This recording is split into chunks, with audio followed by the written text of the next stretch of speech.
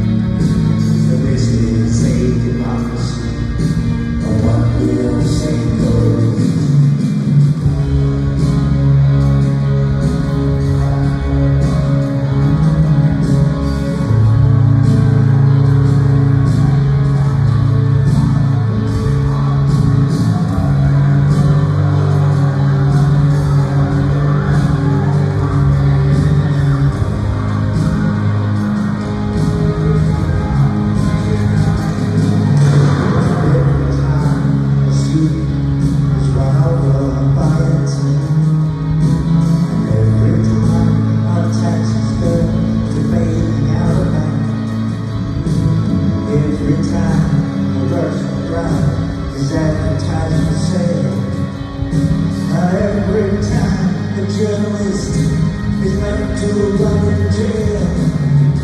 Every time a young girl's life is casually wasted. But every time